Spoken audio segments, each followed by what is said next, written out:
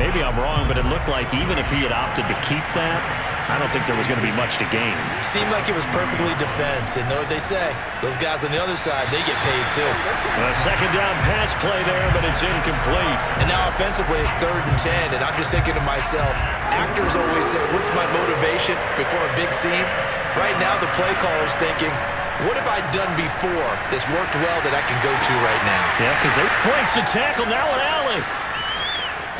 And they will finally catch him, but not before he gets it to the 11. It's a big play there for Atlanta. And CD, we have seen some great runs the last few times we've been together, but I think we can at least put this one in our top five. That was a determined gallop there. And that, in a nutshell, shows you what this guy is made of. I mean, most guys in the NFL just can't do that. He absorbed the contact, refocused himself, and made a break for the end zone. And you can see the distance traveled there after the initial contact on the next-gen stats. So how about this for field position after the big play? Inside the 15 now as they come up on first and 10. Escaping the pressure right. And that will be taken in by Ridley for a Falcon touchdown. Calvin Ridley.